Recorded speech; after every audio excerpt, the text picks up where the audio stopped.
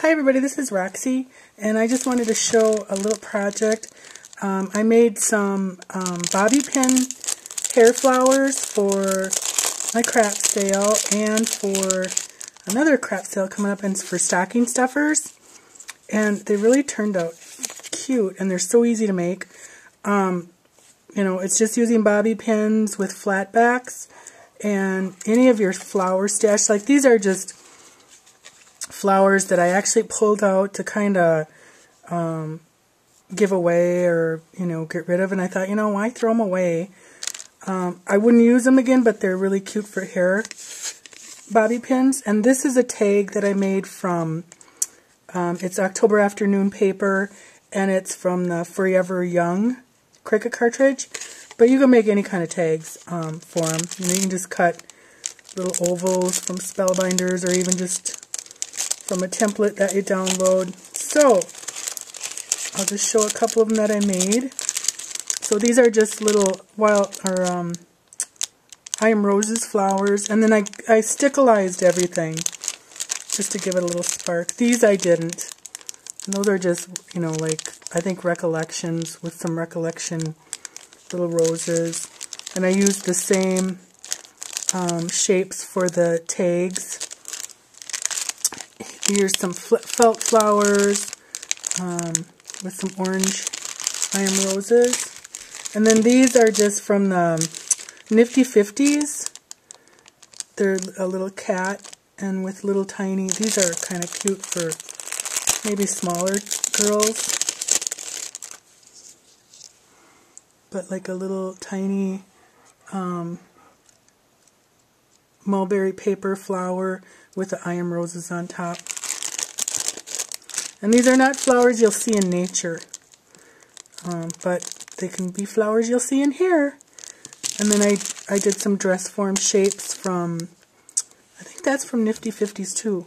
And then those are just two different um, glittered flowers. And some poodles, gotta have a poodle. So I will just quickly show you that it's so easy. I found these um, bobby pins. They have a little flat back $3.99 on uh, eBay, and the seller is Findings How, F-I-N-D-I-N-G-S-H-O-W, and for 50 of these it was $3.99, and that includes shipping, and they came from Japan, but I got them within, I mean, quicker than some things you get here. So I'll just hurry up, and, I mean, it's just like super easy. I actually used... Uh, um, what you call it, uh, toothpick to do the glue, but I don't have one handy, so I'll just quick and just stick your little flower on. Just real simple. Just make sure there's no glue on the end, you know, in between the bobby pin and that. Maybe I'll put a, a dirty napkin down. so you can see.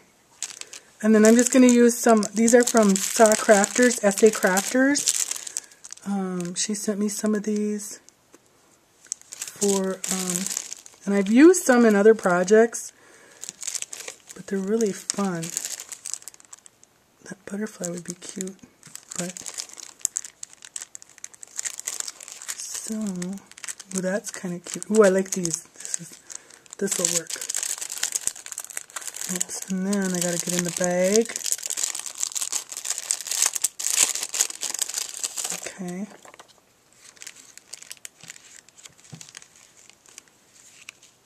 That's cute. And this is done. And then I would just take, where did I put my, oh, just a little bit of stickles. Just to give the little, everybody likes a little shiny. Catches the lady's eyes. Little bit of bling, little glitter.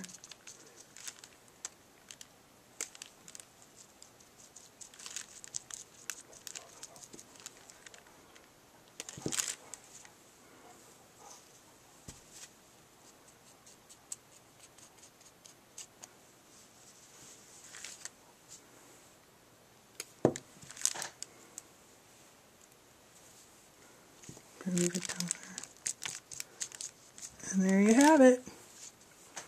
Just quick and easy. And like I said, the the little flat back bobby pins were a steal, 50 for $3.99. And then just some pretty bling from SA Crafters. And you have a really pretty um, bobby pin flower, um, hair flower. And I sold a million of these little packs at my sale. And um, went and made up a bunch more because they really, like, especially little girls just loved them.